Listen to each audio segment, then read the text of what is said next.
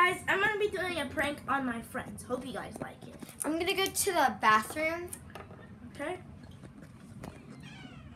Yes! Perfect timing. We got the paper. Okay, now let's do it.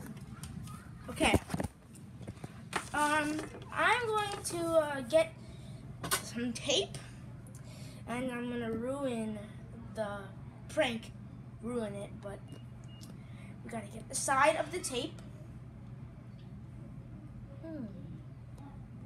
Okay, so now you get the tape. Takes a pretty long time to take it out it's new tape. Okay, I'm gonna cut it. You can use scissors or, or your hand. Put this all over your codes. and now you can do a scribble. Okay. Okay, we are uh, ready. Okay.